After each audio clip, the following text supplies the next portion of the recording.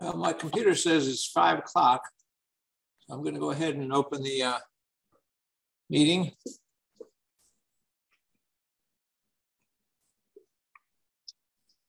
And does anybody know if Judy is planning on joining us? I assume she is. She's been on email and reviewing and providing feedback on minutes. So I have no reason to think she's not attending. Um, she's at the Cape, I believe, so she may have internet access challenges, but it didn't seem to get in the way of her. Nope, she's email. here. Oh, Admit, there there she is. her ears must be burning. Okay. Now the party can start. Okay. We've already opened the meeting and uh, call to order. Uh, the first thing on the agenda is site plan update for Three River Road. Uh, Brent, do you have that? I do. I'm wondering, um, I don't see any of the representatives of Three River Road here. I did invite them, didn't get a confirmation whether they or, I guess we'll, I'll- I guess we can start and see if any of them drop in. Um, so let me share, let me share my screen here. So I'm do. So what I'm sharing, I have both the, so you should be able to see this site plan, which was the original site plan. Let me see if I can make it. Is that? I think I can make it a little bit bigger.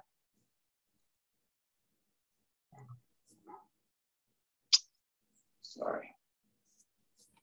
So this was the original July 27th of, you know, basically last year, the plan that we approved.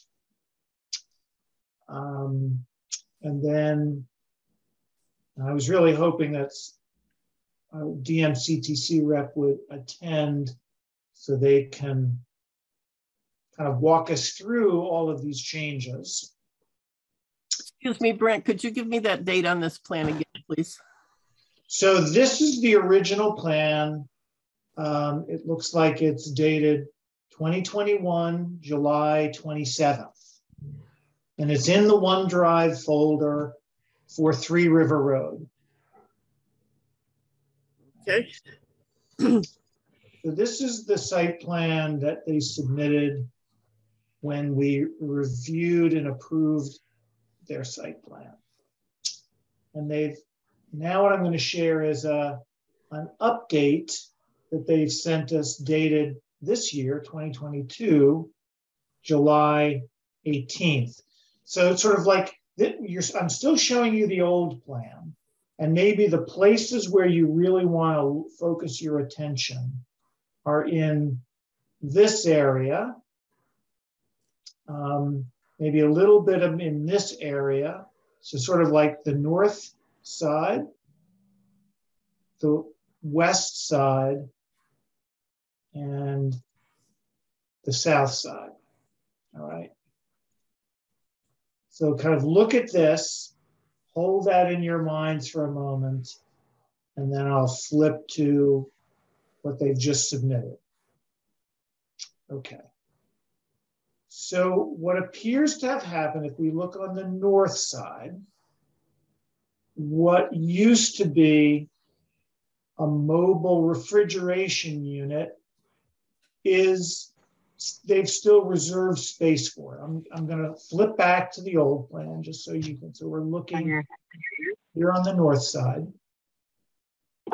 So they had originally shown four of these mobile refrigeration units on the north side.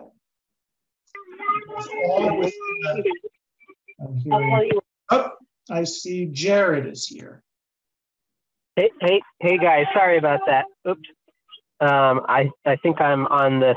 Uh, I think I'm on this call now. You guys can hear me. Yes, Okay, great. Sorry about that. very good.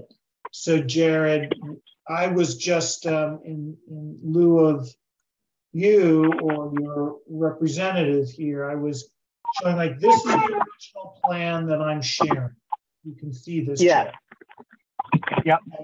And then I was flipping to the, the updated plan and trying to highlight for the board members where it appears there have been some changes.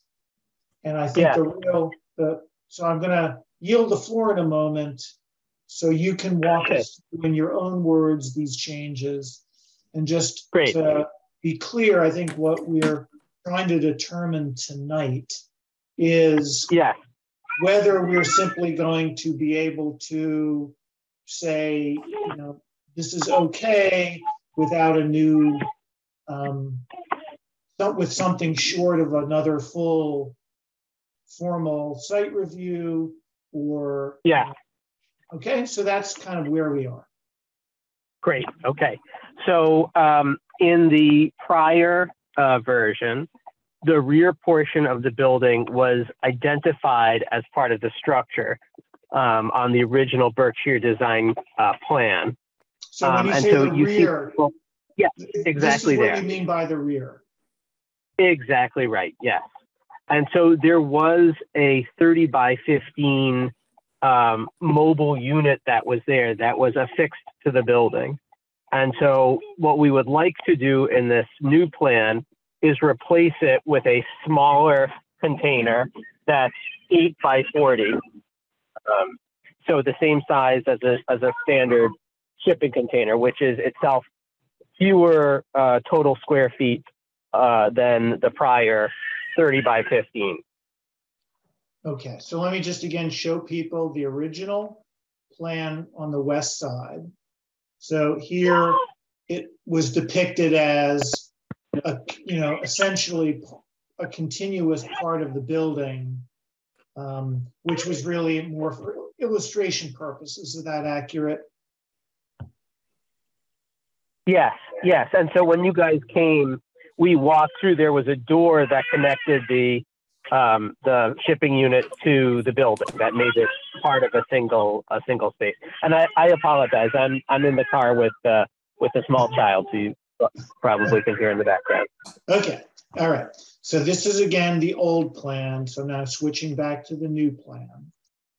So again, so you can sort of see how that west side depiction has been altered. But you have then, not uh, extended beyond the original line of the, the, the Right, and so and that would be within the setback. We, we're I think we're fine for setbacks on all of the changes that we've made. We're just um, I mean the kind of the summary here is that we're rotating uh, structures 90 degrees. Um, we're staying within the same setback, and then we're moving. Uh, we're asking to move uh, shipping containers from the north side of the building to the south side of the building.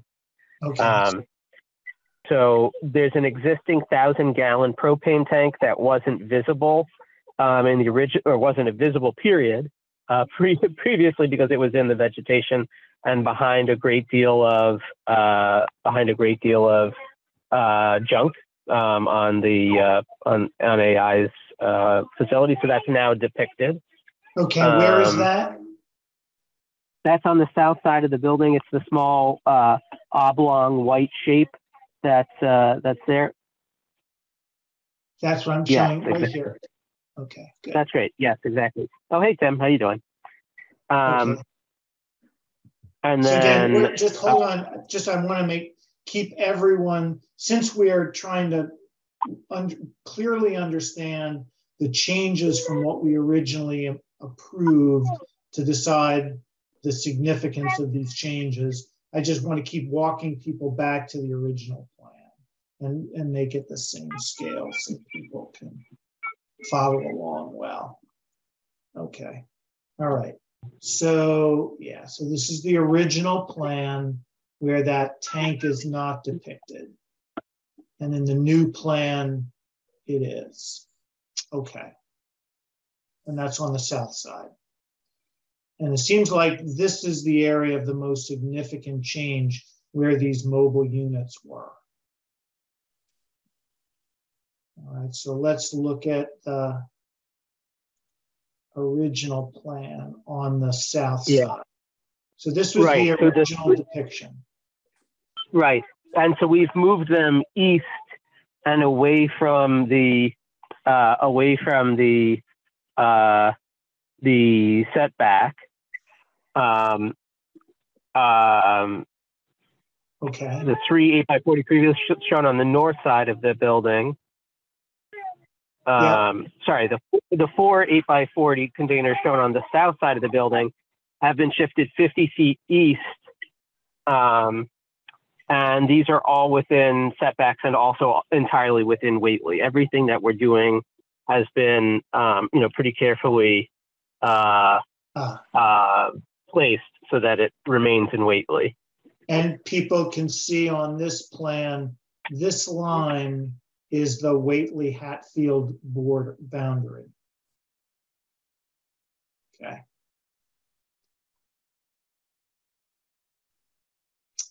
Um, so question, Jared, for these mobile units, if I look at the original plan, as I'm now showing, um, were, these were, these four depicted, um, I guess it was listed as four mobile refrigeration units, eight by 40 in the original plan here. And, and oriented roughly east to west. Um, they were, in this depiction, they're not enclosed in any fencing, is that correct? That's right. Yes, and th- there's no um, there's no statutory or regulatory requirement that we do that. Um, Okay. We just, added abundance of caution, put up a fence. Okay, so now I'm gonna go back, this, what we're still showing here is the old plan where the container units are basically out in the open without a fence around them. And now I'm gonna switch to the new plan. So this shows, um, well, really now there are five units or six units. And there's a fence around all six, is that correct? That's the proposal. Yes. And, Okay, and and just to be and just to be clear, the only things that exist today are the two uh, are the two uh, units that are inside the same area as we had previously depicted, simply rotated 90 degrees. okay, so uh, that's these two units is what you're referring to. Yes, exactly. Okay, And then you have plans for four more. Yes, and so this plan is depicting what we would like to do with the next set of uh, shipping containers. So I, I just want to make sure that that everybody is clear that we have not proceeded to do this.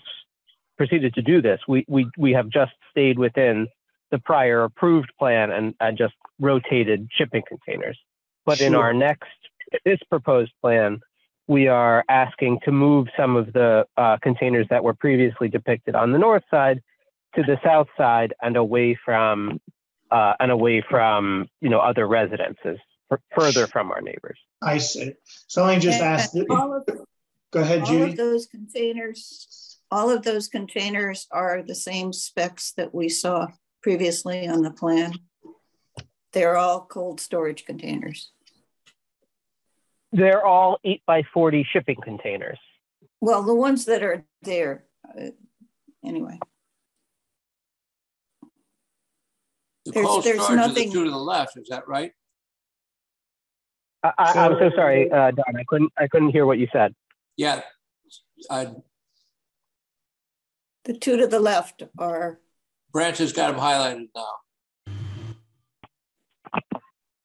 So my I- I- I- understanding, Jared, I, I- my understanding, I think what Judy's asking is that in this original plan, which I'm gonna switch back to. So in Let's the not, original let's not, plan, let's not flip back and forth. okay, all right.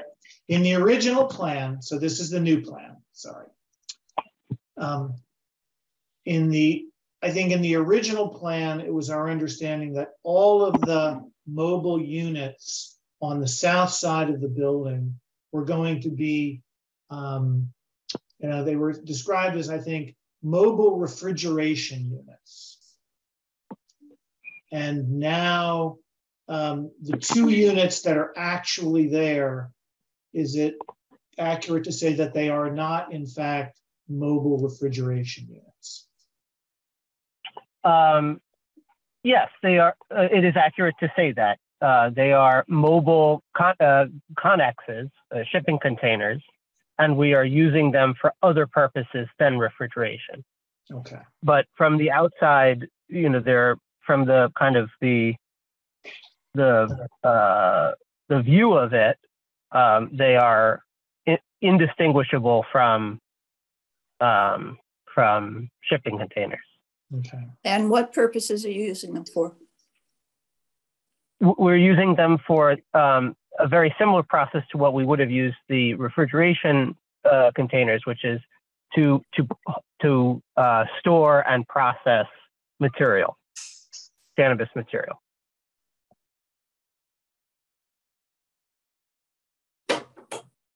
I don't, it seems the verbiage on the previous plan indicated that all the processing would occur inside the building. Right, this is for storage, not processing. He just said storage and processing. Yeah. So yeah, I think it's true that in this new plan, the, so that there is now um, processing occurring outside of the, what's depicted as the processing building. So uh, now processing is occurring outside in two of these mobile units. And other mobile units are being used for cold storage. Still true, Jared? So there is also cold storage inside these units, and they are also being used for storage. Right, I understand. Is there any processing going on in there? Uh, yes, um, and there would be processing going there. There could be processing going on inside other other uh, cold storage units. Okay,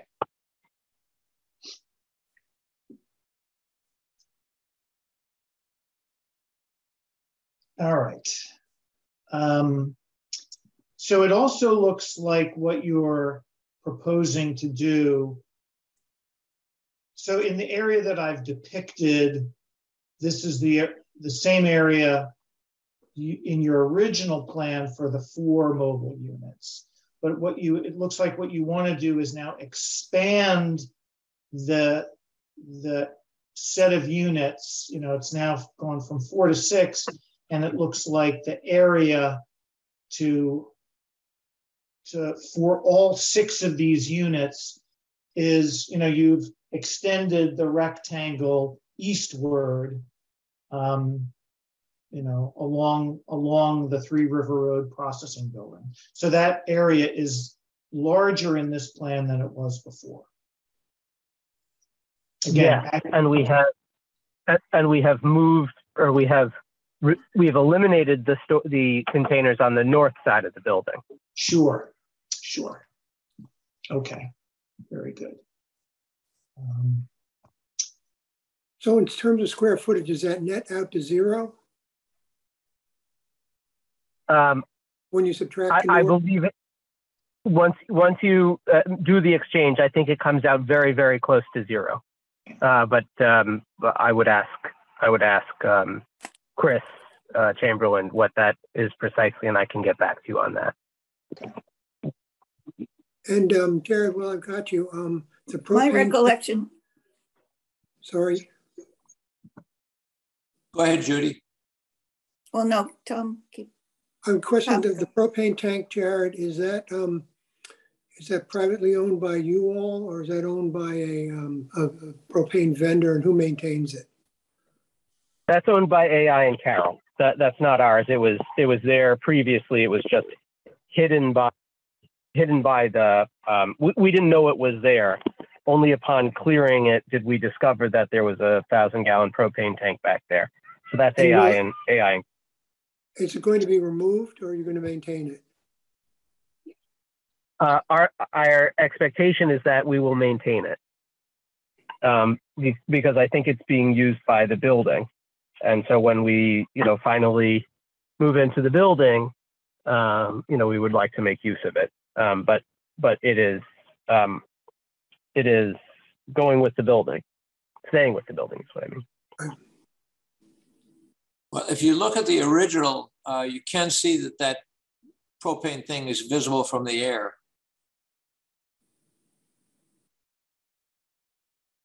What what I'm getting at is the maintenance of it, who's been maintaining it, who's going to maintain it? And um, Oh, uh, yes, it has fire been chief- maintained by is- Al and Carol. is this something? we would- we would talk- To the um, fire chief? Uh, I'm sorry, uh, would you say that one more time? Yeah, is it, is it, now that this has been discovered, is this something that the, that the fire chief needs to be aware of? I, I don't know, I'm just. Oh, he's very much aware of it. He, he is absolutely aware of it. So um, Chief Hannum has been to the site many, many times. Um, we went through a lengthy uh, uh, permitting process with the state fire, fire marshal um, that involved um, extensive uh, discussion with Chief Hannum. Um, and so he has been through this site um, countless times. Um, so he's he's very much aware that that is there. Um, and so we, we would take over maintenance of the of the thousand gallon tank tank that's there. Thank you. And I'll just add My that I spoke on the phone with, uh, the, with, uh, Fire Chief Hannum about this property. And he confirmed that he has, um, that all of his, yeah, he has no concerns with how they've been preparing and handling the site, that all the permits are in order.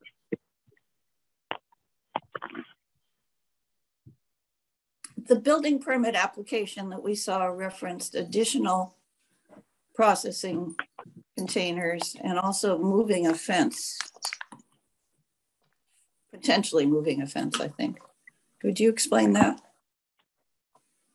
Thanks, Judy. Yeah, good question. So the fence um, moving would be to extend to enclose the additional containers. So to clarify, the original plan did not put a fence around any of the containers on the south side. So in the new plan, you're going to um, extend the, you know, you have a fence around the two that are there at the moment. And you're going to extend that fence to enclose all of the units that would be there. Yes, exactly the intention. Yes, thanks, thanks for that clarification. And the only entry gate would be the uh, double gates on the east side. Um, we would like to have an entry gate to the backside uh, since our, you know, our, our cultivation operation is behind it. And uh, it would make it convenient to be able to access it from the back. And would that be vehicular or just for personnel? Single, single man door, Okay, person door. yep. I don't remember what we asked about odor control on the storage containers, but if there's processing going on, that seems a more significant question. Can you talk to that, please? Uh, sure. Um, so these are closed loop, uh, cold storage.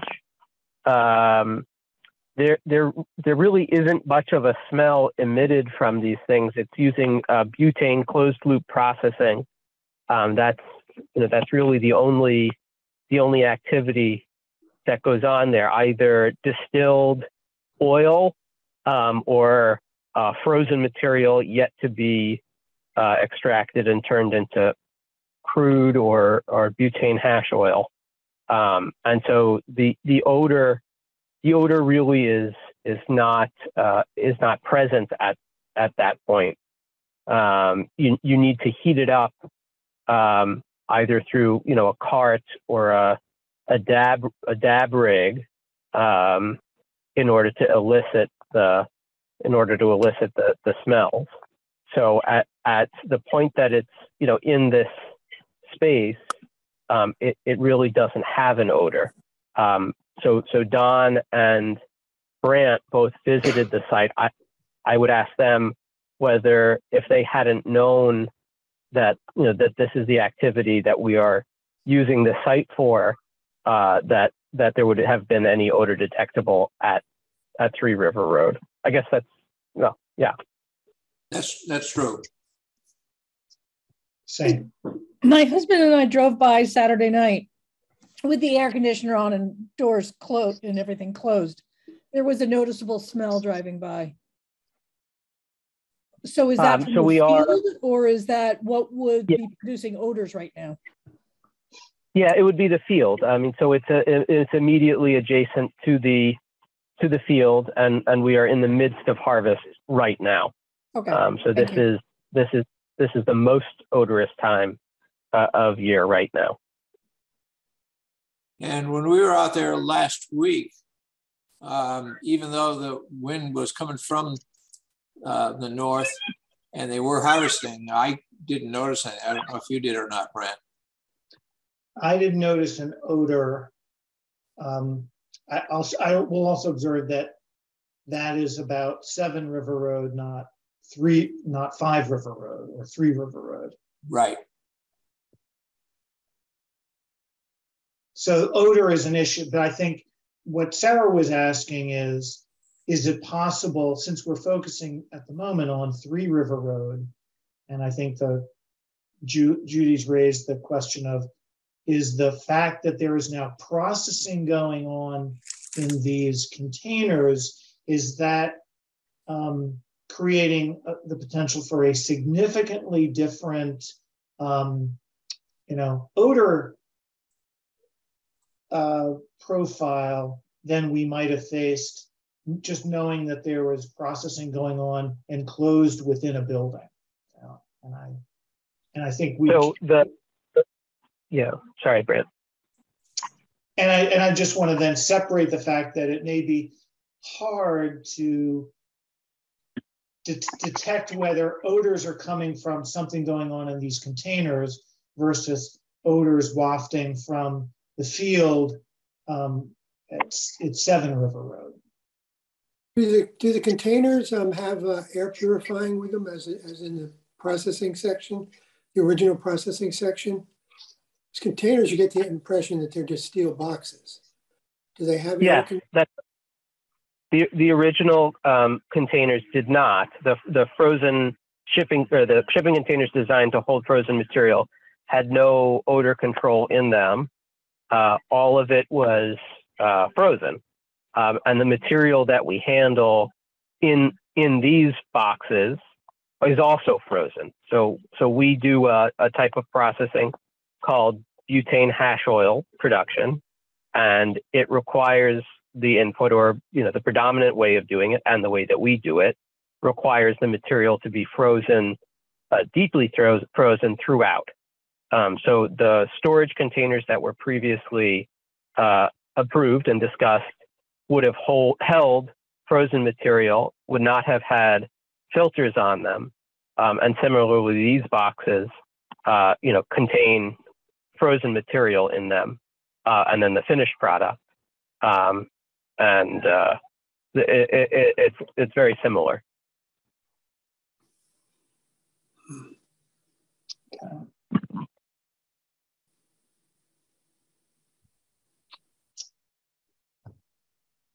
One other thing I noticed in comparing the two plans, Jared, is that um,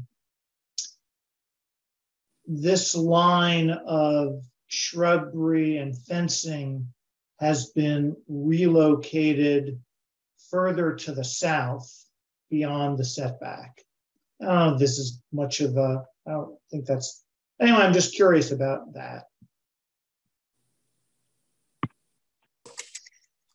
Um, yes.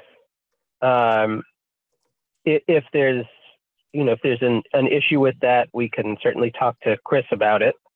Um,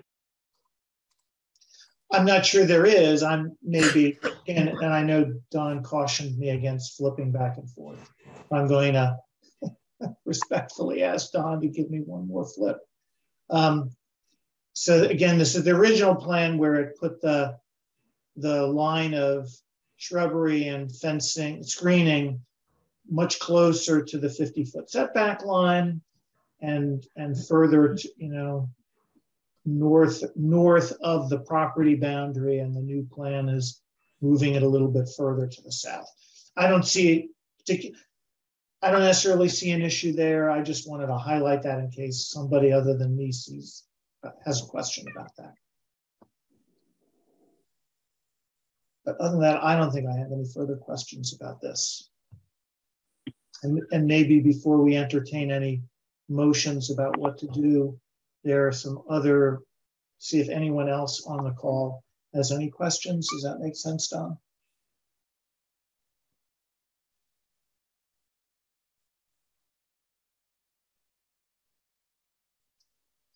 So maybe I'll just make it clear that the floor is open if anyone wants to come off mute and speak up if they have any questions about what's uh, what these changes are.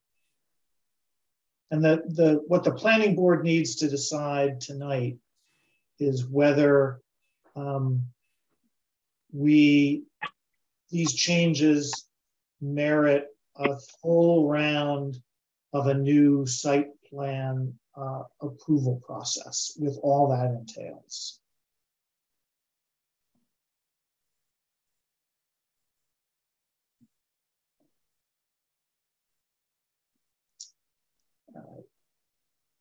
Well, hearing nothing, maybe what I'll do is I'm going to try, I'm going to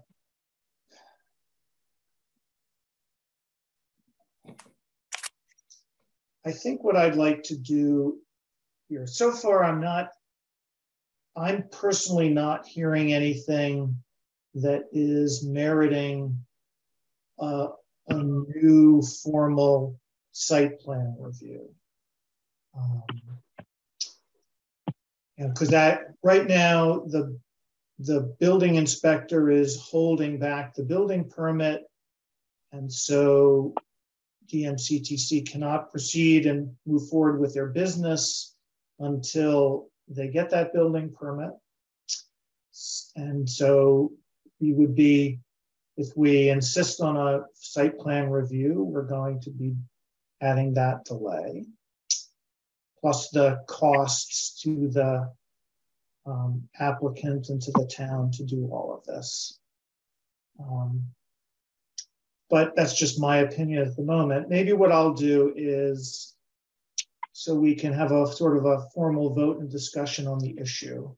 I'll make a motion that I'm actually probably going to vote against, but I'm going to move that we uh, schedule a formal site review of this new plan.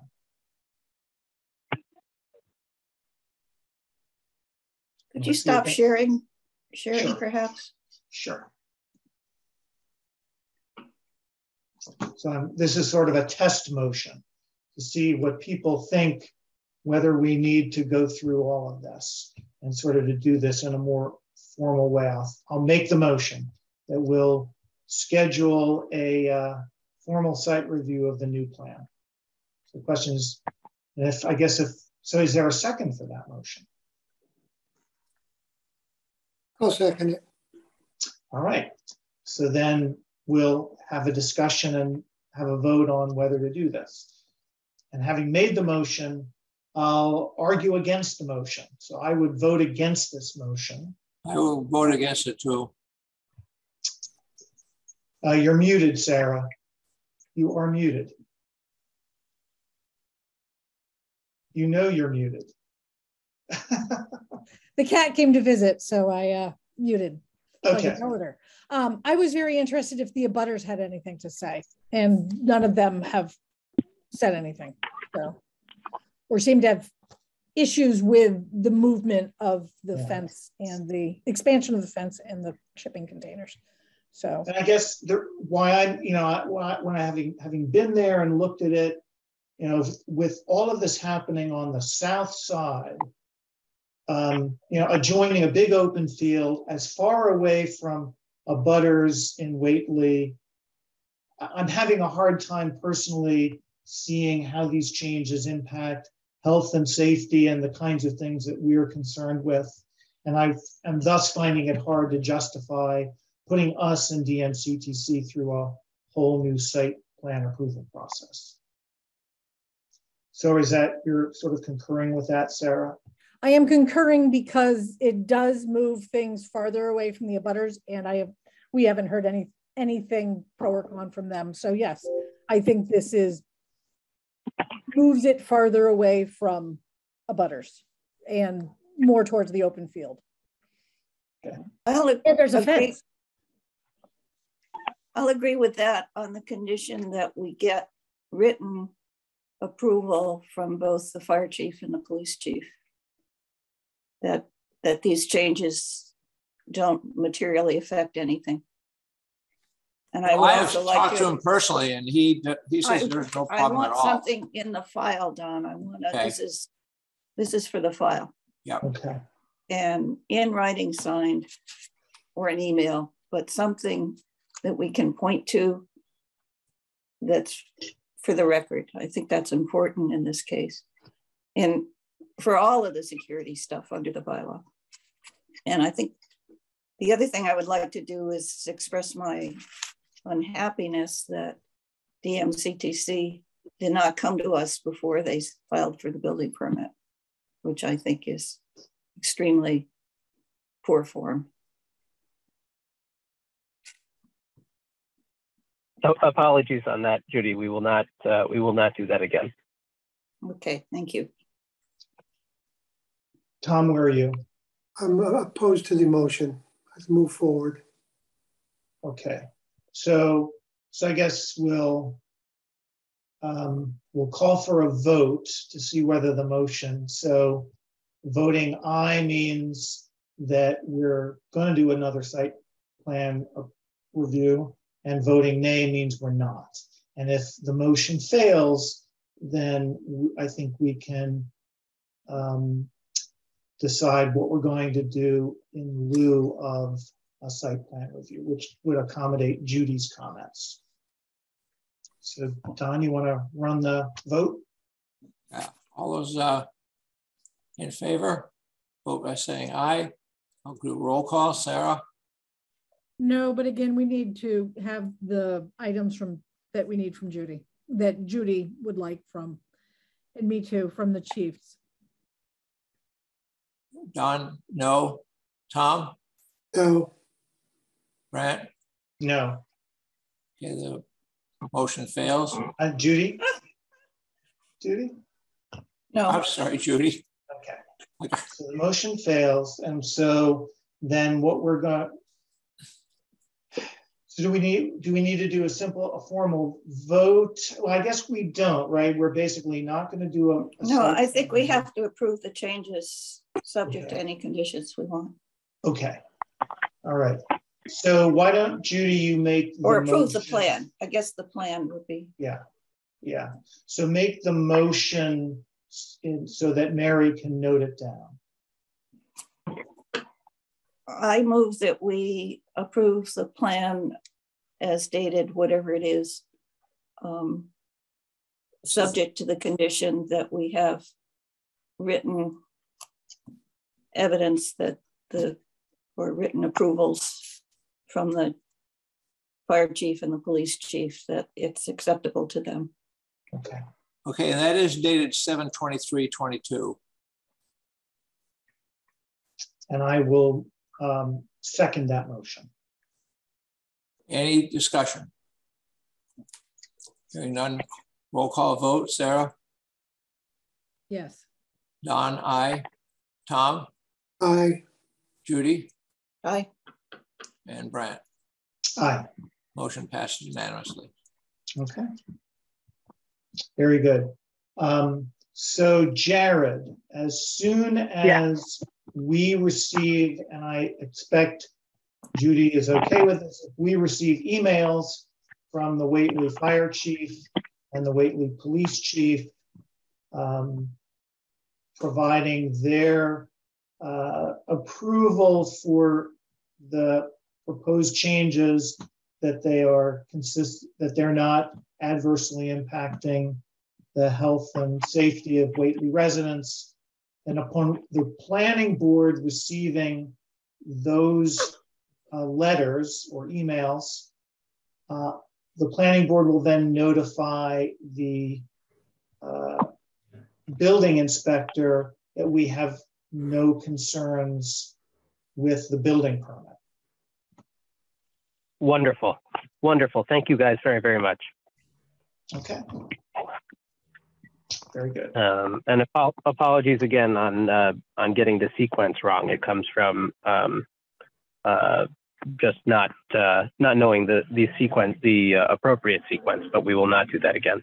Sure. Technically, if you change a tree, we're supposed to know. Uh, okay, understood. Understood. Okay. Or at least Um, thank you for that. asking us. We'll, we'll, we'll make sure that we're, we're on top of that. And I've, in my conversations with the building inspector, he seems to feel that um, he seems to have learned a lesson that his judgments about what's okay and the planning board's judgments about what's okay don't often align. So he has taken the position verbally with me that he really doesn't want to be the arbiter of such things. And so I took that to mean like, um, if we, the planning board, are relying on the building inspector to make some of these judgments, we may, well, we, we, we may find ourselves surprised. He, he is paid to be the zoning enforcement officer. I hear you. I'm also telling you what he told me. I would say that for IE too. Yeah, yeah. One of the things that we did talk about is at least trying to improve some communication between both sides about what we are approving and because he seems to feel he doesn't often know what we've approved. So we won't go into this here. Um, I wonder if, let me just look since we're on the subject of marijuana manufacturing, we've completed the piece at Three River Road.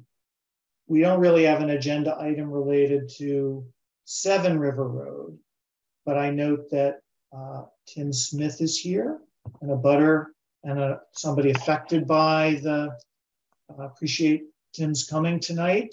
Uh, I reached out after Don and I visited uh, DMCTC's facilities at Seven River Road and at Three River Road.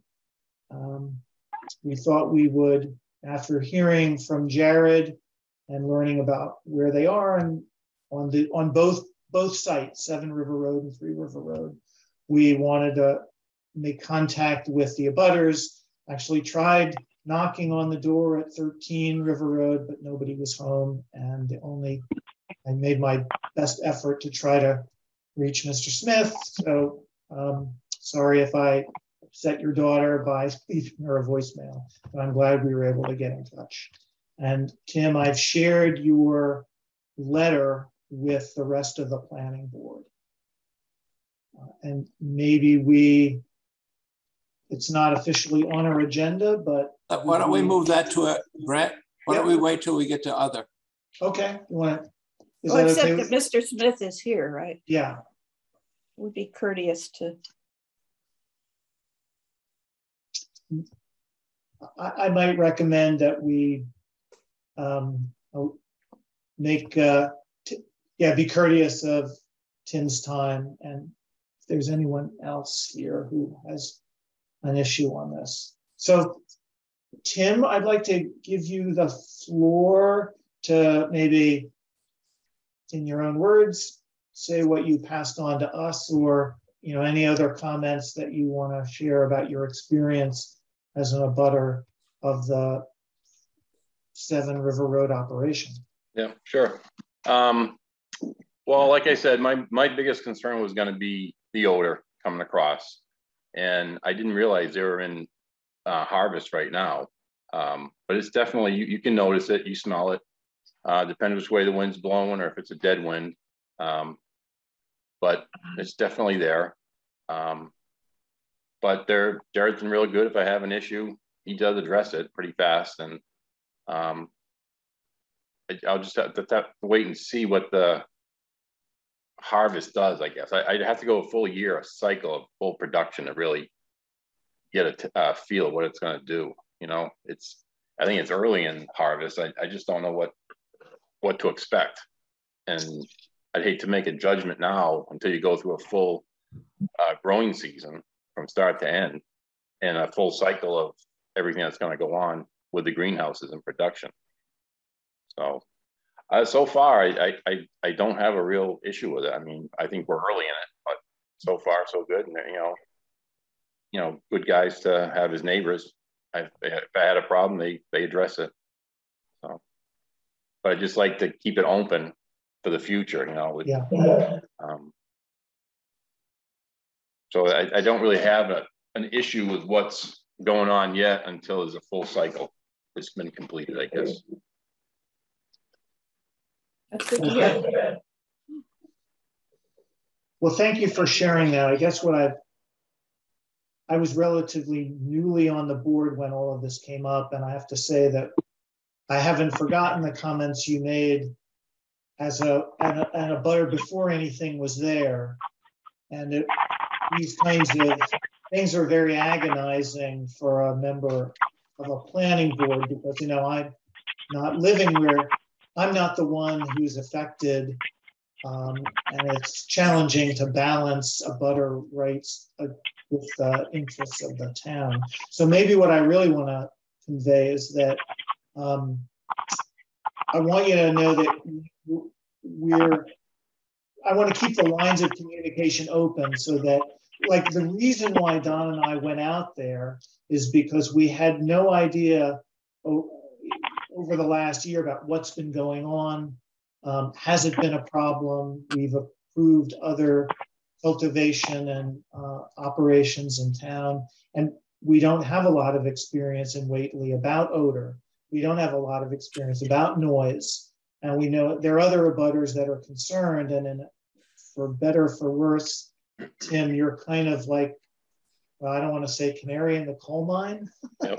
but, yeah. but you, you are you are our best like noise and odor sensor and our best source of advice about how much of a problem this is, how persistent it is, how annoying it is, um, such that we can do better if uh, in the future. So I really want to make sure that if if things are going on that are of concern to you, I don't want you to feel like we don't want to hear from you. Quite the opposite.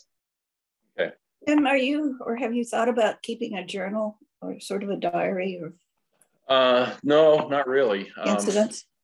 Yeah, I could, I could do that. Just jot it down, notes on, on a document on the computer. You know, just keep track of how bad the wind is, how Yeah. long, you know, how many days it's a problem, that kind of thing. Yeah, it's, it's odd, the odor. If there I mean, is a problem, if there's, if there Yeah. isn't, then fine, but Yeah, like when I would- came would home, Be. I, when I came home from work today, I could smell it coming in the driveway. But you know, an hour in the house, and I went back outside, and whatever way the wind's blowing, it, it took it a different way. So it's, I don't know. I really got to live with it. You know, see what a cycle, a grow cycle's like. Um, as far as noises, it it doesn't seem to be any noise other than any other farm would have. It's probably even less noise since it's so much hand hand operation. So And, and I'll say that was also of interest, at least to me personally, having been to the Seven Road, Seven River Road site. You know, they have these electric ventilation fans running, blowing to the south.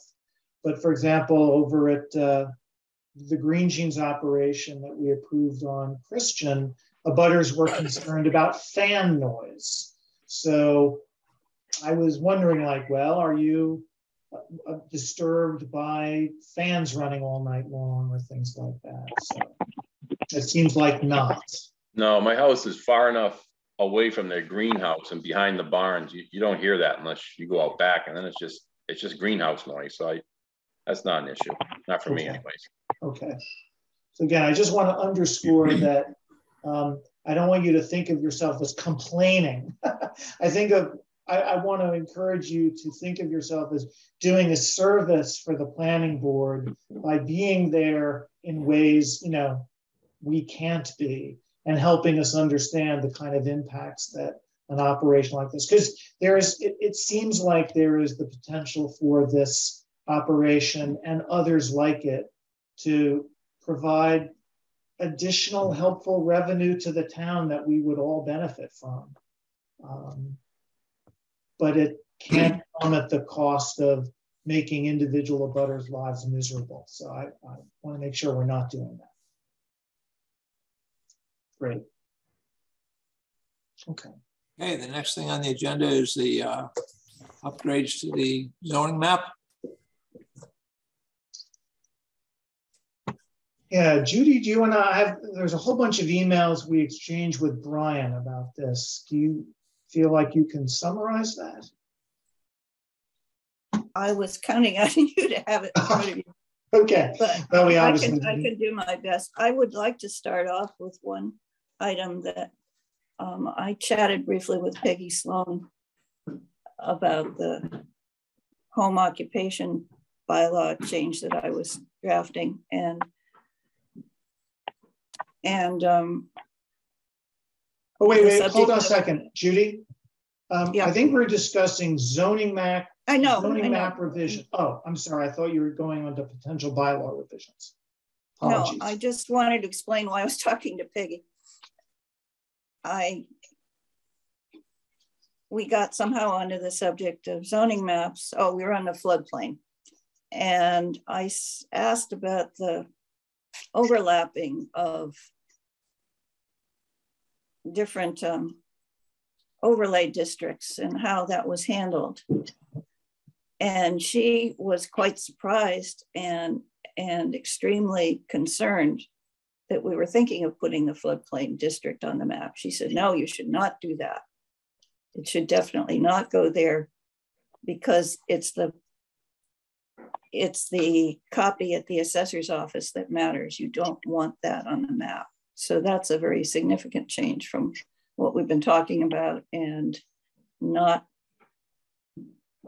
not on Brian's memo or emails. I think his concerns, if I'm the ones I remember, that it was that one, there's some there are errors and and I we can outline those later. Two, he he found it hard to read. And I think some of that may be caused by the the floodplain overlay, but also that it was difficult to to discern the parcels, as I remember. Yeah. Um, I think he also wanted a, a, a very careful review to see that we, there weren't any other, other errors that we had perhaps not caught. And So I'm what I- sharing the email from Brian, um, where I think he did a good job of summarizing his concerns about our official zoning map. Um,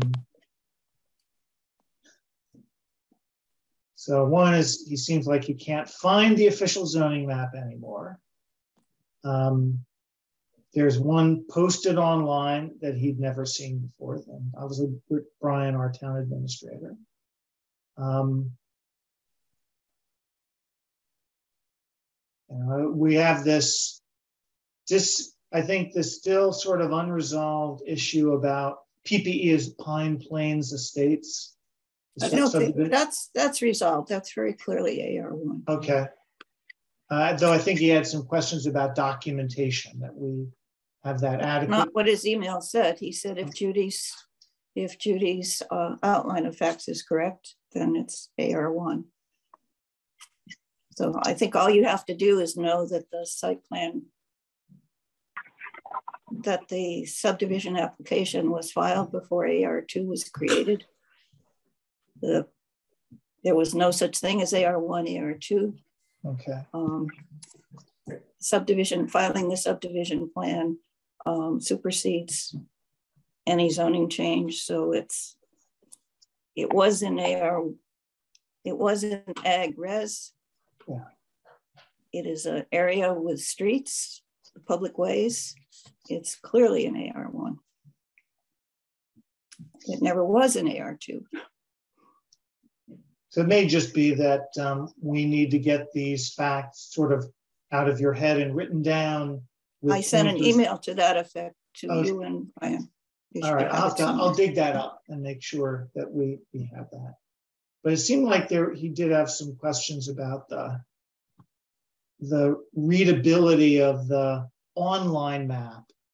And I guess I took it that there's a, there should be a, a official paper map maintained at town offices.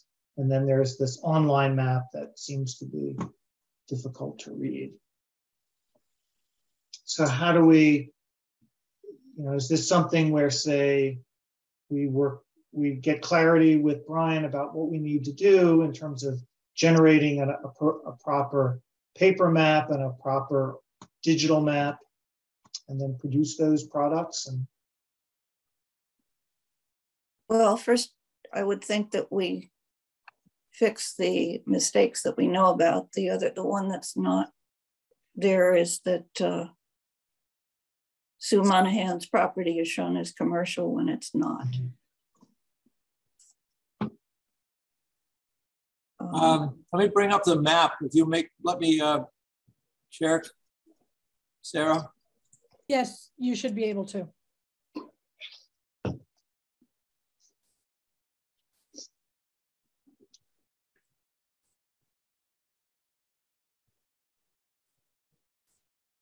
Okay, so this is the map that's existing right now.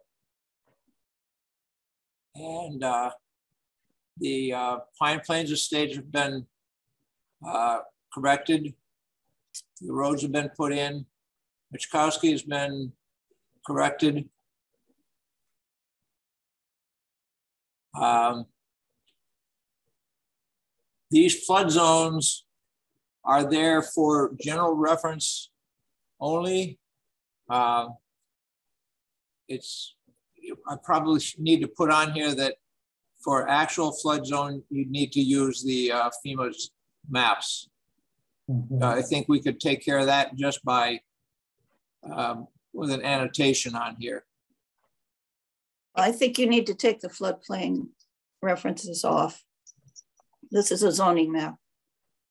And, and if she says you don't want any reference to floodplain zoning on the map, Okay, we shouldn't have it. well, that's So- easy to fix. All I gotta do is turn it off. Yeah. Um, and it, it should have somewhere in very large letters that the floodplain district is not shown on this map. Excuse me? Somewhere it should indicate that the floodplain district is not shown on this map and that app people should consult the map in the assessor's office for for its boundaries. All right, so just put a note on there that the flood zone is not shown and where to find it. Yeah, a very prominent note, I would think. All right, You know, what, that's what we have is a zoning district that's not on the zoning map and people need to be aware of that. Judy, does that apply to the aquifer overlay districts as well? or just No, no, no. No, those are defined by the map, Okay, by this map. okay. Don, I so find with the digital just map like this, one of the, one of the good things is, is that you can uh, maybe if I not getting a zoom here. Oh, normally, oh, all right. I'm losing, somehow I don't have my uh, zoom tools on here. But Well, normally, that's okay. We, we don't need to do it now. We should Yeah. just talk through the suggestions. Had, the other, the other error is, was the Wendelowski property. Now the which Monahan. property? The one that was Wendelowski that's now Monahan. It was shown as commercial and it never got rezoned. Right here? Well, it's one of those commercial ones. Huh. Why?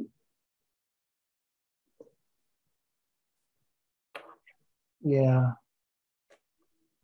I'm having a hard time seeing that. I think it's. Well, I don't the- think, I don't, I'm not sure we need to fix it Yeah, right now anyway. yeah. Okay, Um, Sarah right started now- to make a, as far as I know, these have been, this has been approved. And the part that was, they wanted to approve was in here, and that has not been approved. Right. well, it was showing, I mean, Sue Monahan was right. It shows on the assessor's map on, on the diagram on the assessors as being commercial. So I think just go back and check and make sure. Judy, when you speak of the assessor's map, do you mean like a physical document in the assessor's office or the online GIS system map? both. In the last last reference, I meant the physical one, but um, this last one, I meant the online GIS one. I And apologize the- for not being clear. How does the paper one get produced? And who's I, crea- responsible I for created it? in, in uh, ArcMap and export it to Adobe Illustrator and then print them out as uh, uh, PDFs. No, but I think for the floodplain district, it's the FEMA map. And they produce it. Understood, we're not, that's agreed, we've agreed the FEMA map is a separate map. So I'm just Right, trying to. But, but it's available in GIS, and that's where I imported it from. Because I think there are three places that people are getting zoning district information. Um, there's a physical map that is supposed in the assessor's office, or I'll just say in town offices, that is supposed to be the gold standard or the, the authoritative zoning map. So there's got to be a physical authoritative copy in town offices. That's so- source number one.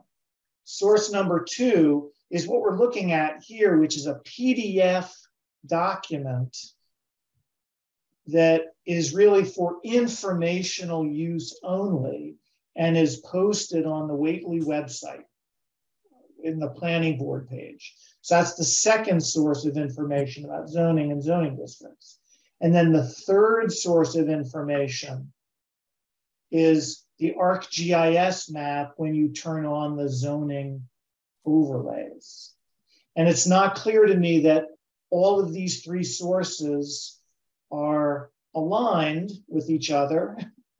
and more and, and more to the point that the version in the, the authoritative copy in town offices may not be accurate. So I think our goal is to bring all of these three sources into alignment so they're all consistent with it, have the same information, and um, that it's made clear that the only authoritative copy is the physical copy in town offices, and the other two are just for informational use. There anything I've said that's inaccurate?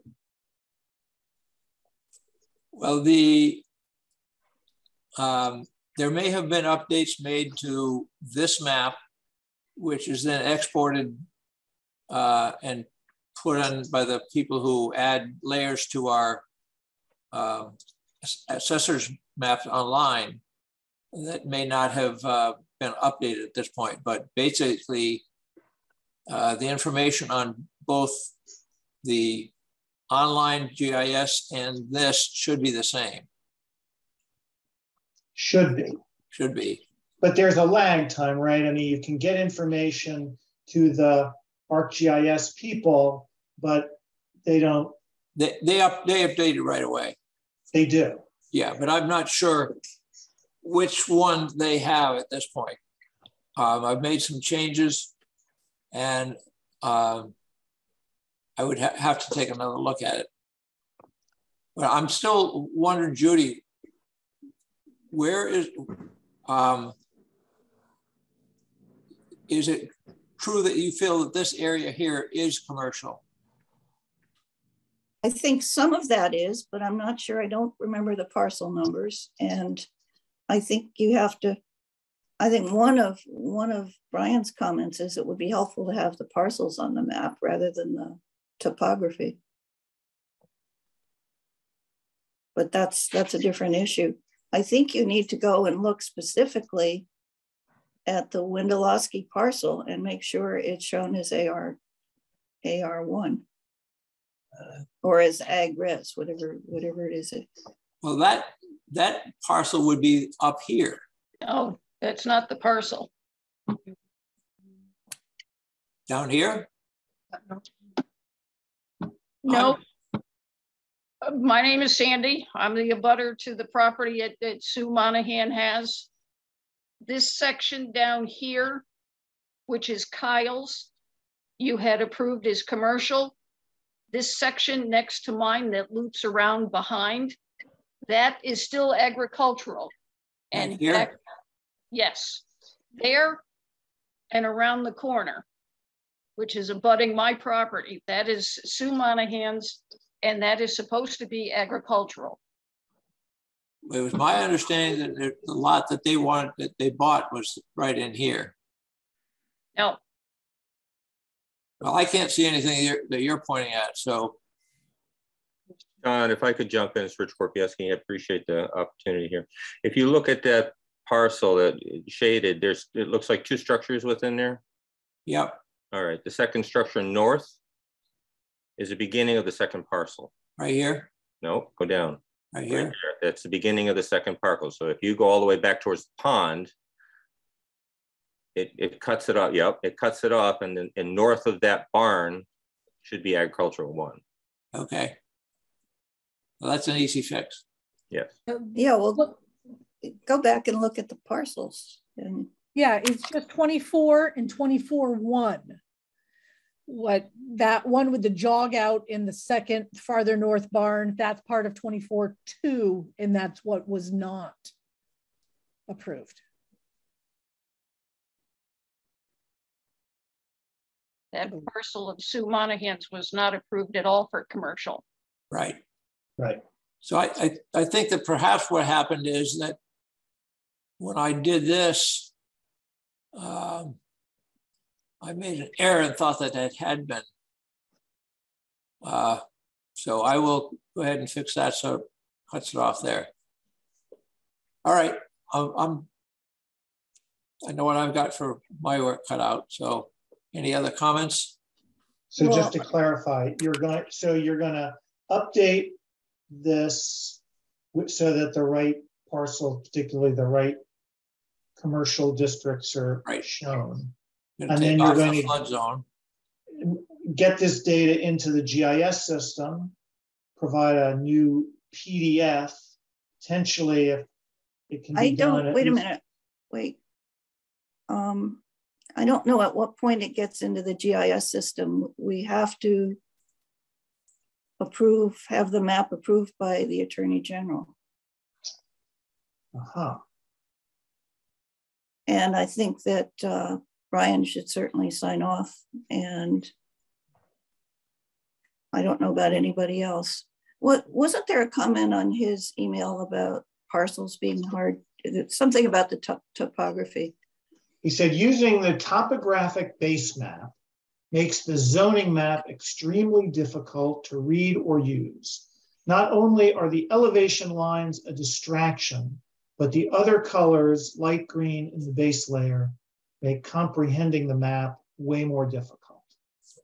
His, his last two comments are graphic design questions. They're not zoning or zoning like questions. It's about graphic design and interpretability of the, of the graphic presentation. Well, yeah, but he, he feels that the readability of it is important. Yeah. Right, yes, absolutely. And then he said the diagonal hatching and vertical hatching for the active overlay districts likewise, likewise makes the map difficult to read. So has readability questions about the map and usability, and, and we should address those somehow. And maybe it's producing, I don't know, more than one version. Maybe we can ask Hannah to check other towns overlay districts and how they're shown.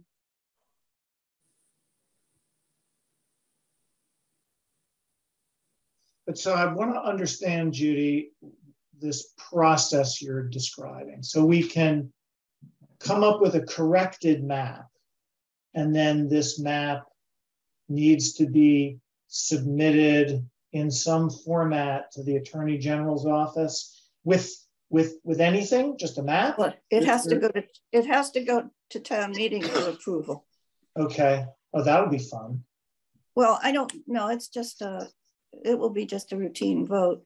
Lynn was, Lynn, before she resigned as town clerk, was very concerned that some changes had been made that hadn't been uh, formally approved at town meeting. And, and I'm not entirely sure what, what, I think it was a couple things where we found that a district was zoned differently than it was shown on the map and we corrected it, that kind of thing, but I'm not sure. But she felt that rather than, and this was back probably last December, she felt that rather than just having the the addition of any changes we made approved for the map that we ought to just revote the whole thing.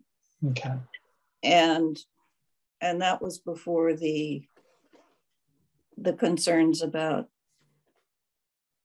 things that were incorrect that we we just talked about. So um, she had requested just just make sure make just make sure that everything has formally been approved. Um, okay. So is this something that we're doing at next annual town meeting in 2023? I think as we, as soon as we're ready, we take it to the next special town meeting. I mean, this, what we're not doing is making any changes. We're ratifying past changes. Okay.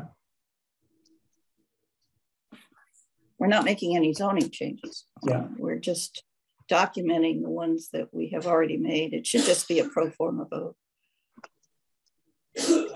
Okay. All right, so we have clear actions and timeline, is that correct? I'll just work Well, with I mean, the, it's- I'll just work with the town clerk and get this straightened out. All right, I'm happy to help support that in any way I can, Don, though you're the whiz at all the GIS systems. Well, do we want to find out how other people handle overlay districts or not? Well, I've looked at, at a lot of them and um, basically most towns use uh, quad sheets, which is what we're using, and then overlay all their other stuff on it. Um, the last official map that we had, we switched to aerial photographs. And uh, a lot of people um, didn't think that that was as useful as the quad sheets. And then there was a comment that some of the barns that are on these older quad sheets are no longer there. Uh, but uh, basically most That of the, doesn't really matter. yeah. I will say I find this more legible than our last one with the green base. So thank you, Don. Yeah, I like it better myself. All right, so moving on. Potential bylaw revisions. So Judy, I- think you have some things, is it, this may also be at just a time, especially with Rich uh, Kopusky on the line, to uh, mention uh, the communication we've had with him and his response.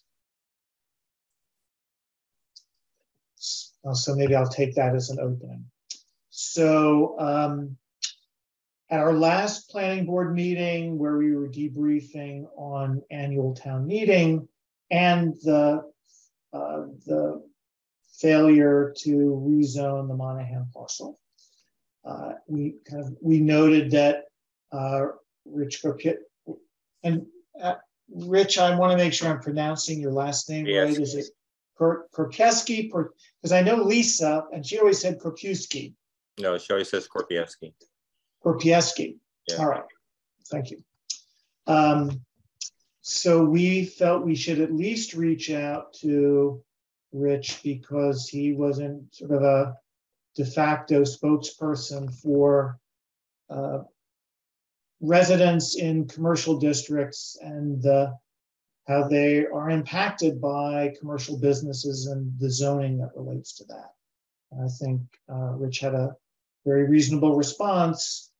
Uh, and I'll yield the floor to Rich in a moment, but I'm just sort of summarizing that he felt that other butter, other residents in the commercial district ought to be, we, we ought to reach out to them and solicit gen feedback generally about how people are feeling in the commercial and industrial districts and whether we should be considering bylaw changes and bylaw revisions to address their concerns. Is that a reasonable summary? Rich, would you like to expand on that in any way? The floor is yours. Yeah, well, thank you. I really appreciate that. And I thank for the invitation. Um, as a lifelong resident of, of Whately and living on Route 5, um, I, I realized that the character of Route 5 has changed you know, appreciably. And the to yourself. There's some background, sorry. And so what I was concerned about was this slippery slope that seems to be edging into town where uh, as the commercial interests start coming in um, and taking advantage of what Whately has to offer, and we have the ability to, to garner uh, tax revenue from that, there seems to be a um, a liberal uh, uh, approach to utilizing bylaw and, and enforcement. And I know that there's a mechanism for enforcement in bylaws, but I know that what, what seems to be happening is an apathy to um, following the rules set by the board within the bylaws.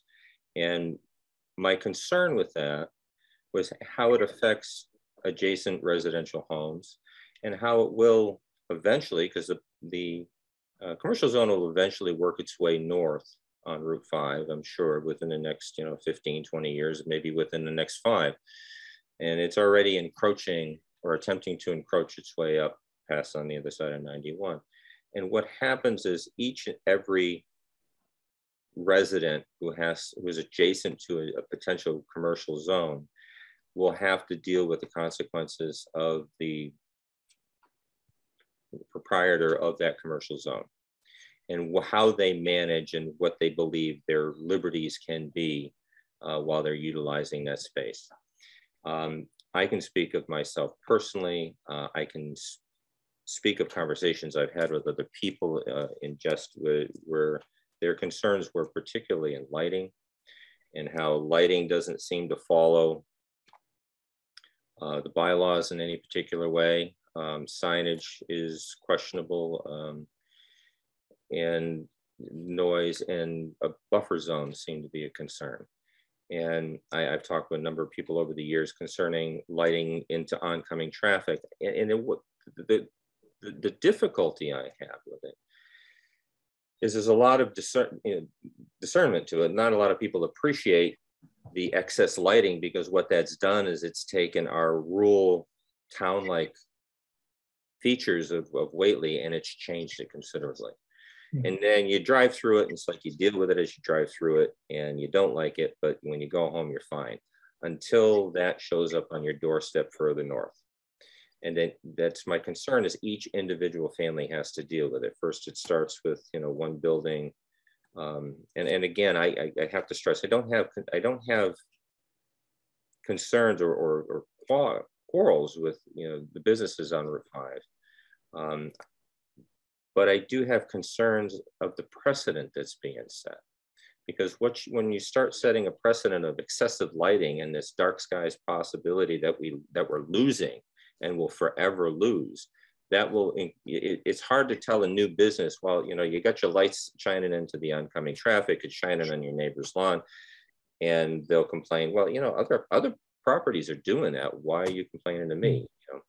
So as we're losing the ability to enforce or expect that good practice should ensue, um, eventually what I see happening is as the commercial zone moves forward and moves north, that lighting problem becomes more egregious and more difficult to manage. What, you know, where the bylaws allow or don't allow for lighting um, to, to lead the property line. Yet, and, and a certain lighting is, is considered uh, restricted, I would guess to say best way.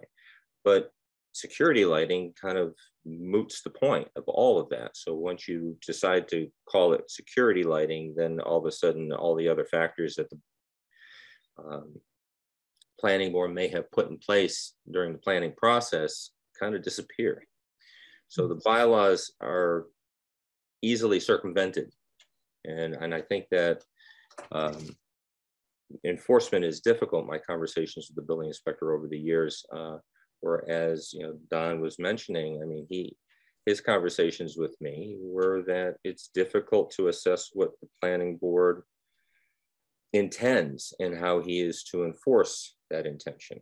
And uh, under a number of different factors. Uh, one that came up in 2020 was uh, the public hearing of November 10th um, with my neighbor with the uh, um, with the schoolhouse. And again, I, I, have no quarrel with my neighbor, the good neighbors so far. But during that meeting, if you were to go back and, and revisit it, was at the beginning of the meeting, um, the idea of um, having a parking area 20 feet from a residential use.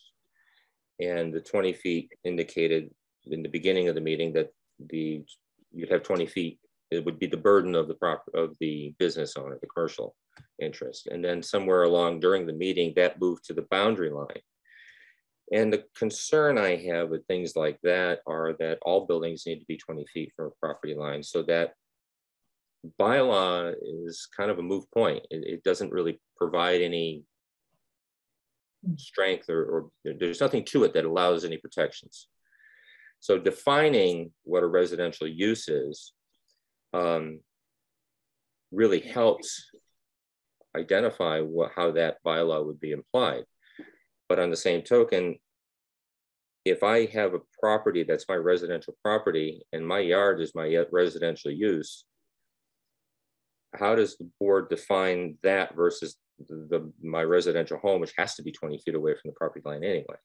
Hmm. So there, there are places within the bylaws where I see it's difficult to enforce. And hmm. it's difficult, it's easy to overlook, it's easy to hmm. uh, circumvent. And I think that what happens when you're dealing with residential homes on, on your way up through Route 5 is each residential home will have to fight these same battles. Mm-hmm. And, and the mechanism that we use so far is to make the residential homeowner take charge against their neighbor. So what ends up happening is if your neighbor is not malleable to abiding by those changes, there becomes that conflict between neighbor and neighbor mm. through the building inspector. And then you, you struggle with the building inspector trying very hard to understand the mm. direction of the board. And with that, um, there's a, a, a difficulty of being able to know what we can expect as residents you know and i think that what the board can do I, I think we can all live together realistically commercial zone with residential zone but i think that by binding commercial properties to identify and, and making the bylaws so they are that it's a lot easier to understand what the boundaries are mm. a lot easier to enforce those boundaries allows the commercial zone to be able to have what they need without excess and allows the residential character to continue to be residential character. Because one of the things I see, and I, up at the library looking down in the valley during the family day, I was thinking about what it would look like at night mm-hmm. and what would happen over the course of the next 5, 10, 20 years when you've completely engulfed that area with commercialism and you have not checked the lighting or the noise or the hours of operation. And what you would see is, a, is what you see from UMass is this massive glow in the valley. And what you would see not during the summer would be enhanced during the winter. So it would start affecting everyone within the town. Hmm. But by that point, it's too late. By that point, the complaints and the noise that you know our neighbors are going to have at that point, we can't do much about because we've already set the precedent that should have been addressed far earlier. And so by by standing up and speaking, what I realized was, and I, I, to this day, I, I have no idea what I said. It just serendipitously came out. But what I realized by talking with other people after the fact was there's the folks who voted against the expansionism did so because they wanted to keep the character of Whately a small town. And, and doing, trying to keep that character a small town means that we have to put harnesses on liberties taken on the bylaws. You know, I can speak of, you know, local businesses that I struggle with trying to understand the excess of lighting. And I know security is an important factor, but there seems to be a, a willingness to extend that to, in, to impeach on the neighbors without consideration of the neighbors. And I think that once that it becomes a precedent, and that works its way up Route 5, not only will the neighbors on Route 5 dealing with it, but also you folks up on the hill, you're going to deal with it too, because you're going to have this massive glow, and particularly in the wintertime, because right here in the summertime, it's not, you know, it's tough. But in the wintertime, when there's no leaves, you know, particularly after snow, there's an awful lot of lighting. And then that peace and tranquility that brought everyone to Whately will start to diminish and tear it apart. And I don't want to see that. I mean, I've been a lifelong resident here and my family's been here and we've seen this change but you know Whately was this amazing little wonderful town when i was a kid um, and it still is and it still has this incredible potential but not considering the effects of commercialism within the town and, and the liberties taken um, by the bylaws in, in that pursuit of commercialism will eventually come back to bite each and every one of us, I believe. And what I see, you know, with you know the expansion of the property that I was concerned about was that we've taken you know, what was considered a home business that didn't become a home business because of liberties taken and because of conflicts with understanding how the building inspector would interpret one thing versus the board. And that conflict of interest, as I would see it, allows for this expansionism that, you know, becomes a little bit more than what was expected. Hmm. And if that continues, if that proliferates, eventually you'll start hearing the noise and you'll start realizing that most people don't want to be on Route 5. Route 5 used to be, you know, the scenic route. We used to be the scenic route. Hmm. And eventually we won't be the scenic route anymore. And hmm. eventually people won't want to come down Route 5 because it'll be like going down Route 9. If you have to, then you have to. But if you can avoid it, just take 91. Hmm. We'll lose that character. Hmm. And I don't think we want to do that. I think the vote and the, and the people that spoke to me after the vote, encouraging me, made me believe and understand that the town at large, even though it was a small demographic in the voting population, doesn't want to see that either. They don't want to see this proliferation take hold and, and, and air itself on, uh, I don't want to say abuse because I don't think that's fair, um, but on liberties. And those liberties that benefit, you know, a a, a business owner that lives out of Whately, who when they leave their business and they leave Whately, you know, they go back to a nice dark space and they're comfortable where they are. Everybody else, we all have to live with the ramifications of what's left behind until the next day. Um, again, I don't want to, uh, I don't have any ill feelings for my neighbors. I, I, I want them to succeed. I want them to provide to the tax base. I want them to be productive parts of the community within Whately. Um, and I want to encourage that, as I think we all do. But I, I really, really think that liberties taken are, are, are, something that we need to rein back. We need to put more consideration within the bylaws to be able to protect that character that we're so easily losing. I mean, if you go down Route 5 in the middle of the night, you know, the light hits you in the face on a couple occasions in a couple different businesses. And all of a sudden, when you allow that to continue, when more business comes in and mm-hmm. starts doing the same thing, eventually what you'll see is, you know, the glow of UMass on Route 5 Whately. Rich, um, if, if I could interrupt you just a second. I'm, I'm hearing two threads in what you're saying. One thread is actual taking um, residential land or commercial or agricultural land and rezoning that into commercial uh, into commercial use.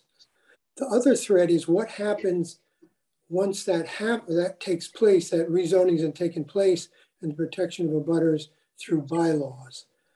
So, and what you're you're saying is there's an inevitability that that 510 corridor is going to become commercialized. That, that's that, there, once that happens when, and you fine tune your bylaws the way you want them to, to take these things into effect that you've been describing, it's still, it's still going to impact the people living in a residential district.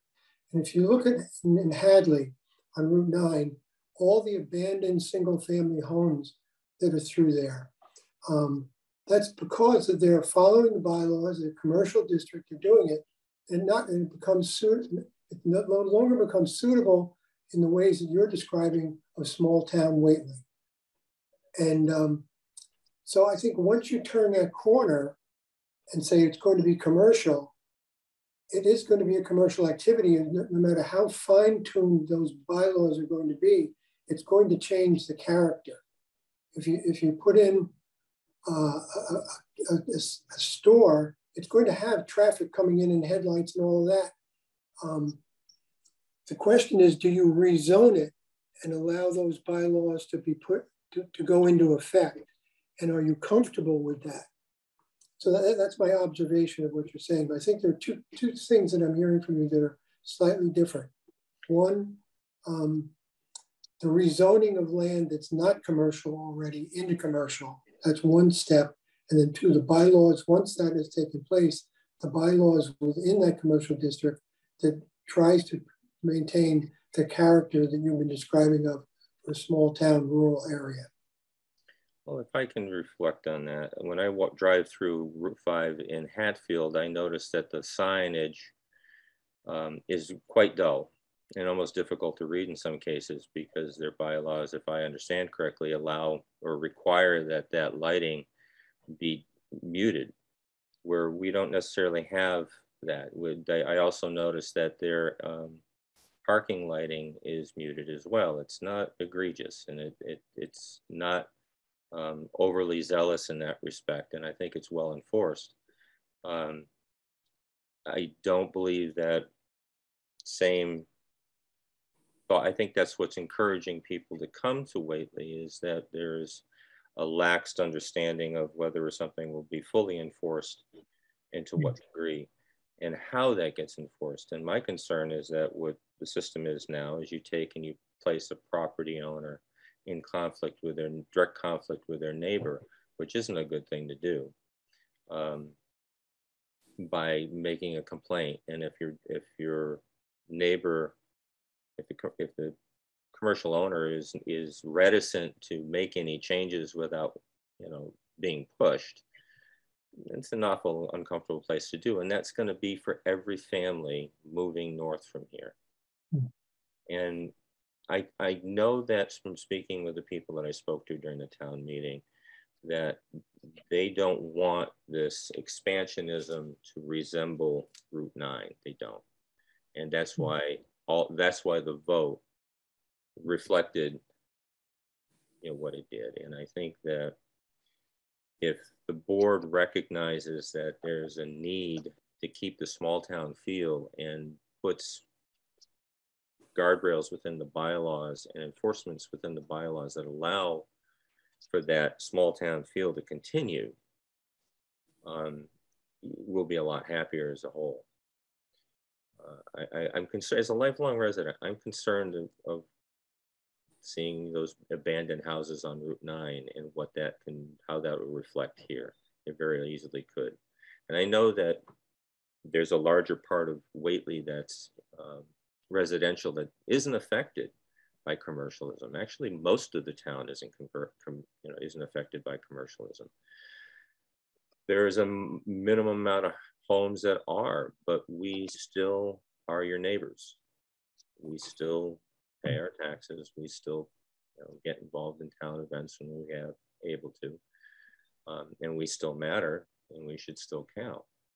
And um, I would hope the board would, you know, reiterate that same affection. Um, so I'd like to just thank, take a moment to thank you, Rich, for sharing all of this. I've taken notes. I don't think we were planning or expecting tonight to, you know, fully, I think we're not going to fully discuss this. We're not going to make any decisions tonight about this.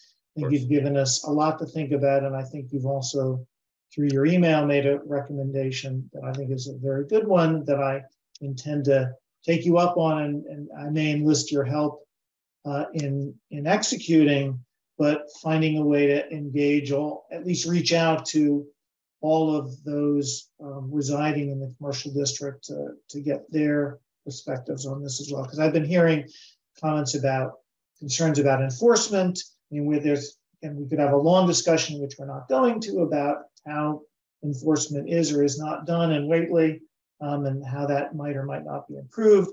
I have specific concerns about zoning bylaws and enforcement of bylaws as they relate to lighting and noise and uh, things like that. I, I, definitely noted the phrase liberties taken used multiple times in your comments. So this is all, um, I think, very helpful. Um, so Rich, I, would, I have, before you, I have specific question. The one commercial enterprise that I can think of that the planning board has approved that's operational in the last 10 years is muffins. Um, do you have issues with, with the lighting or noise there? You speaking to myself? Yeah.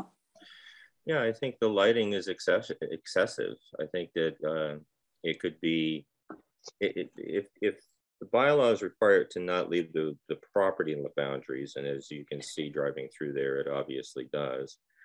And it's not supposed to be into oncoming traffic, which is a concern for many, and then it does. And I think that the, um, you know, it reflects onto adjacent properties. I know that I have to, you know, deal with windows and issues. And my, con my conversations with the owner was, his response was just to get a shade.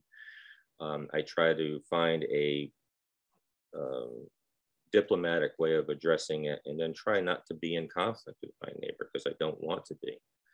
Um, I know I have every right to be, but I find that in, in the best interest of getting along within the town, unfortunately, it puts me in conflict with them. It doesn't do me. No, you've made that point. I just just right, but my but, but the, the, light, the light, you know, I've got we've got additional signage, lighting you know, reflecting onto adjacent properties, into oncoming traffic. There's screening that was supposed to be placed there and noise because of lack of screening. Um, again, I, am struggling because I don't want to place, I don't want to focus on that concern in general. I wanted to be more general about all of it instead of focusing on my grievances because I think my grievances are mine. And yes, I would hope the board would take consideration of those, but also my biggest concern is how that proliferates and becomes a precedent that works its way throughout the town at this point. When, you know, once we set a precedent, it's difficult to change that precedent. And once, you know, many people set the same precedent and take those same liberties, it becomes harder and harder and harder. And I understand what the board's trying to do. The board is trying to make it attractive for, for businesses to come in the way. And I agreed, I, I applaud that. But on the same token, we can't sacrifice good practice. You know, and if somebody's going to be a good neighbor, they should be a good neighbor. And Thank I, you. Okay, that's great. Okay. Thank you, Rich. Um, And I'd your like to make one other clarification, please.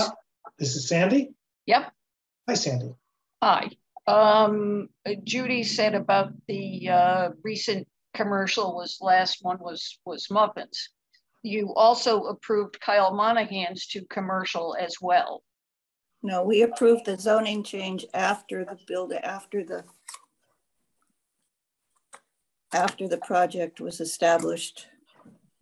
We didn't, we never formally approved the project. And Well, that was a dispute with the. Yes. Yes, there was a um, actually, with the the planning. and- project, it was built, it was built as a home occupation. Correct, but it is not. It is now commercial. It is now zoned commercial, but I don't believe the occupation has changed. I don't think the business itself has changed. If, if I can jump in here, this is one of the concerns that I have is, is this type of, you know, if we create, allow home occupation, a circumventing of the bylaws by creating a home occupation that resembles a, a, a full-blown commercial. And, and I know it, it worked out for the town that we've created a commercial space and we've got the commercial. I don't think that the planning board is all happy with this situation. I'm sure. But Um, that, all the more reason why I speak up to, you know, encourage the planning board to consider uh, if there's. and bylaws. actually, we would have had, well, I guess I'll stop there. That's not true. Never mind. Judy, you got any other bylaw revisions you would like to speak about? Well, I did talk to Peggy Sloan about the home occupation one and the draft that I had showed the group last time. And she had some concerns with it. And we wrestled with it for about half an hour and decided that it was virtually impossible to come up with a meaningful Definition? um, definition or a, or a restriction, I guess is the word, for, for adult use products. And she did agree that she thought that it was highly unlikely, given the expense and onerous requirements of the CCC, that marijuana delivery would ever, or courier would ever be, especially delivery, would ever be a home occupation.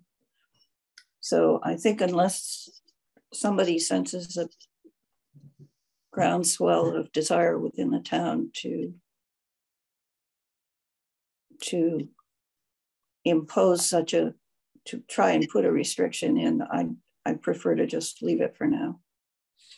Well, I, I see that as a home occupation simply because all you are doing is getting stuff in on your computer um, and saying it needs to go to this person. So basically, bringing marijuana into the town is probably not even going to happen. It's just going to be exactly like a delivery service where you go pick up something and take it somewhere else. And you know, it, it just that portion of it never never really came through.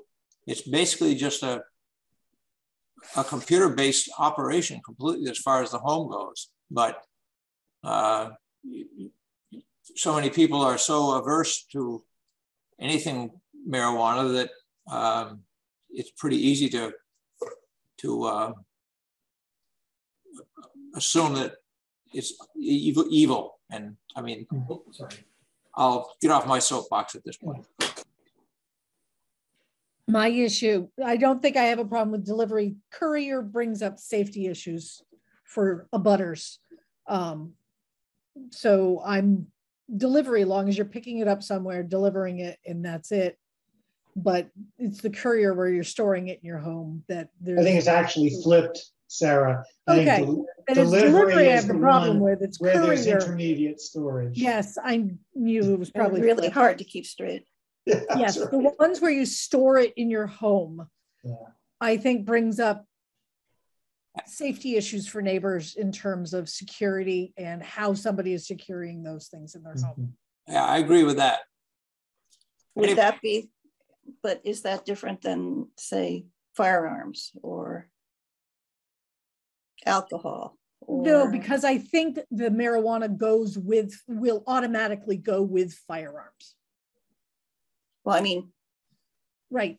I need say, so, I am the proud owner of firearms. Um, they are yeah, but you're not, no, but you're not, you're not retailing firearms. Exactly. Or wholesaling, but you're not, you're not But conducting. I don't think you're gonna have the delivery, the one that's in your home. You're not gonna have that without firearms. No, no, I'm saying a business that say, Oh, see, I, uh, say, say you sell you antique guns.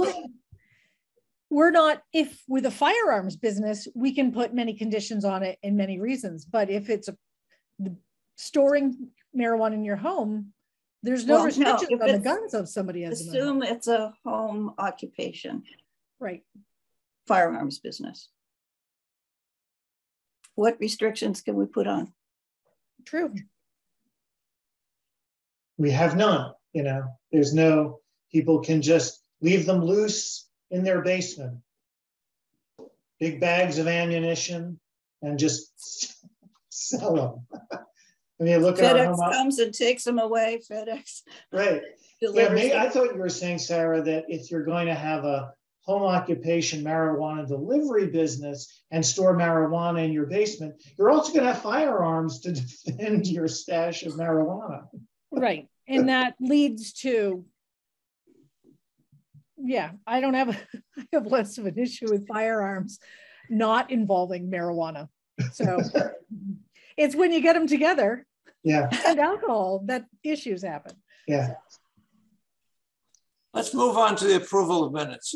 I concur with that. I do think we should continue to have this discussion at our next regular meeting about potential bylaw revisions. I want to, just before we ran out, mention that um, uh, one of the manufact, one of the marijuana operations in town did ask me a question of what's our position or what's Whately's position on social consumption of marijuana? Oh, I meant to bring that up too. Yeah, so we may have to, now's not the I time. I, No, I one think we thing I, I think we need to do is to clarify our retail marijuana use to specify that it does not include social consumption or on-site consumption, because that's not clear now, and I'm sure that wasn't intended. Um, I think it's pretty clear that where you sell it, you cannot smoke it. No, it's not in our bylaw. And the, the way the CCC, CCC is written is that um, as long as you have a, a retailer can have a social club license. So um, I think we need to specify that retail does not include on-site consumption. I think we have a couple years to do There that. are two- There are two separate categories, though. You need the, the social, you cannot, unless you make your retail place also adjoining a, a social, you can, you can, you can't light up in a, in a store, period. Legally. I'm not, sh- So, so we should figure this out, but maybe we not should figure this out. We need to understand Whately's smoking Yeah. regulations, which I don't know. It's also, um, I believe, reading some of our um, applicants in towns blogs or messages to the public when they're recruiting fundraising funds. There's been things about said about, oh, stop by anytime. And oh, yes, we're looking forward to putting in a having a social place for consumption. And this is happens to be the one next door to me, which is a strictly growing facility. So I think there's a lot of not understanding of whether that is just a sales pitch or very much not understanding, definitely in the public of the what is allowed at certain places. So, All right. All right. so we're gonna now approve some minutes, right, Don? Minutes, Thank you, Mary. Yeah, great job, Mary. Thank you. Thanks. Well, I'll just kick this off by um, making a motion. So I know that Judy and I have both reviewed, I'm just getting the minutes of, I think it was, uh, it was the first one was February 10th that just came out. And so Judy and I, they, my impression, Mary, is you did a great job. Minimal changes were needed. Judy made markups. Everything's in the OneDrive with her initials and mine in the file name. So I'm going to move that we approve the minutes of the February 10th meeting as amended. Second. All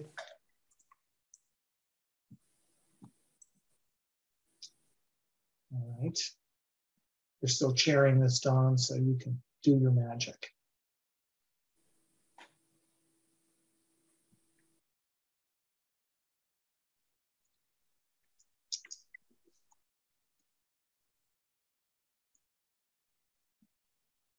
Pregnant pause. So, all right, the, the, the motion has been made and seconded. So we're going to do a vote. Yes, to approve the minutes. Don, go for it. I think Don can't hear us. Really? I didn't uh, follow what, Oh, I'm sorry. I thought you, so we, the motion has been made and seconded to approve the minutes of the February 10th meeting as amended.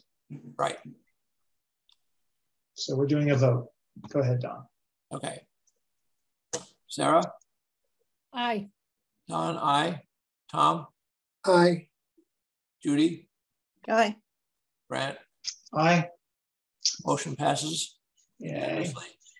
All right. Uh, So, and then the next one. So, yeah, that's interesting. Did we have a meeting on February 22nd? Or was that the one that got, couldn't be held? Because I there's think a, if it's, if it's on March 10th, it was because it was postponed from February 22nd, probably. how could a meeting on March, February 10th be postponed from a meeting on February 22nd? No, isn't it March 10th? Or am I? No, we're not there yet. So we just did No. February 10th. And actually, we had March had a meeting scheduled on February 8th, and that was moved to February 10th. So we've approved February 10. We have a meeting folder for February 22nd. But did we have a meeting? There were no minutes for February 22nd. Well, I'm wondering why we had one in the middle of the month on March 10th. So I suspect that the February 22nd one was postponed till the 22nd, but I can't. Didn't we have Call a meeting the the power went out? I, I don't have my, Didn't my the power notebook. Go out at one of these meetings and we, we couldn't convene? Maybe. That was, I'm looking at the agenda for February 22nd. And we were going to continue the public hearing for Green genes and do a public hearing for the uh, large-scale solar development bylaw change. I think there was, that one was the problem with the Zoom link. Okay, so we did not have a meeting on the, we didn't actually have a meeting. We had a scheduled meeting on February 22nd, but we didn't actually meet. So there are no minutes. It's when the meeting IDs were confused. Okay. So then the next set of actual minutes that Mary circulated are for March 15th. And again, Judy and I have reviewed them and annotated them, so I'll make a motion to approve the minutes of March 15th as amended. Seconded? Okay, the Motion's been made and seconded. Any discussion? Call for a vote. Sarah, Aye. Don, I, Fran, Aye. Judy, Aye. Tom, Aye. motion passed unanimously. It, it does. Let me just also confirm, that was not the one with the the weird word about the evergreen tree. No, that's the next one. Okay, good. All right, good. So, good. So now we're on to April 26th. And that was the one I noticed because Judy added a comment. Is that the one? Just question what the word was. It's a description of a spruce, but I didn't. Oh, yeah, it was, there was a word in the minutes, Mary. You know what? Can you give me a page? Yeah, it was page in the Word document. It looks like it's, well, your page numbers don't align with the. Yeah. Word. It's, it's page six. Six is at the bottom of the page. Okay. So it's, and it's in the part five, update on landscaping at one thirty-four Christian Lane. You used the word replacement of a con color spruce. And I I think. in my notes, I assumed that was part of its name. Ah, It is. It is That- a that con is the- color is the, f- I believe it's a fir. It is the variety of the tree. It's got very long needles. oh, Is it really? properly spelled? Is that the way you spell it's it? Concolor, C O N C O L O R. They're Yeah. really Really? nice little trees. All right, learned something today. Me too. So is, so Sarah, as an expert on this, so is the proper description a concolor spruce? Let me confirm if it's a spruce or a fir. So I'm gonna delete A my, fir, concolor fir. a concolor, so I'm gonna change the word spruce to fir. Yep. And, and actually I'm gonna, since somebody, I think, anyway, I'm just gonna put con color, C O N C O L O R. Yes. Okay. So I've just made that change in the minutes. I, I know I'm not sharing my screen, but you can all trust me. So other than that, Okay, under adjournment, uh, is Brand still Brand with a D? under adjournment, Yeah, uh, oh, yeah, you're right. Oh dear. Sorry, I fixed that. Good catch. Um, so that's also changed. So I will now with that.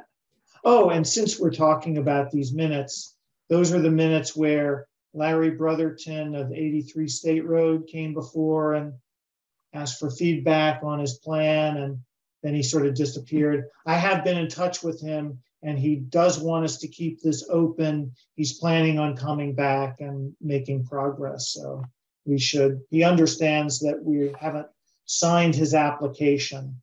So it, it just remains landscaping open. gentleman. Yes. Okay, but other, but basically I'm, I'm moving to approve the minutes of our April 26th meeting as amended. Second, second, Hi. okay. Any further discussion? Roll call, Tom, Aye. Don, aye. Sarah, Yes. Brant, Aye, Judy, Judy? aye, Okay, aye. all right, we're up to date. We're now well within the zone of uh, compliance with the open meeting law. Thank you very much, Mary. You're welcome. We will be when they're posted. Yeah, Yes, that's true. That's true. I will finish them off and get them over. Wonderful. Okay, I think we're at the end of our agenda, Don. I think so. I would entertain a motion to adjourn. So I'll moved. second that. Okay, Sarah moved and Judy seconded, or maybe the other way, but I don't care. Yeah. Uh, All those in favor, aye. Aye. Aye. Meeting is adjourned. Okay, Everybody.